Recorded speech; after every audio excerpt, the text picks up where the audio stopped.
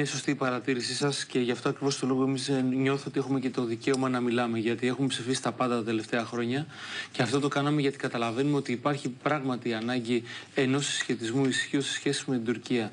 Δυστυχώς όμως βλέπω ότι όλο αυτό δεν είναι κάτι το οποίο αντιλαμβάνονται και οι εταίροι μας.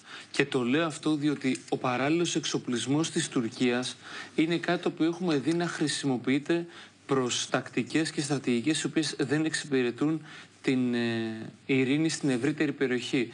Όσο συνεχίζουν οι εταίροι μας να εξοπλίζουν τον κύριο Ερντογάν, τόσο η κίνδυνη παρέμβασης ενός ε, καθεστώτος με τα χαρακτηριστικά που έχει το καθεστώς της Τουρκίας μπορεί να γίνει πολύ επικίνδυνο για την ευρύτερη περιοχή. Το είδαμε αυτό να συμβαίνει και σε αρκετές περιπτώσεις. Άρα εκτός από την οικονομική παράμετρο και το γεγονός ότι στην Ελλάδα έχουμε μπει σε μια τέτοιου είδους διαδικασία η οποία δυστυχώς μας κοστίζει πάρα πολύ ακριβά πρέπει να δούμε και την παράμετρο τη γεωστρατηγική και τη γεωπολιτική.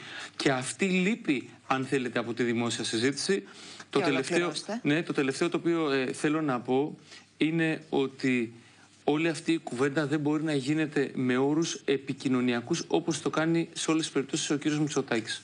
Το λέω αυτό διότι τα εθνικά μας είναι πολύ σημαντικά. Η Νέα Δημοκρατία ακολουθεί μια τακτική η οποία όταν ο κύριος Ερντογάν προκαλεί, κάνει ότι δεν ακούει, όταν τα πράγματα είναι καλά, τον παρουσιάζει ότι το έχει πετύχει η ίδια.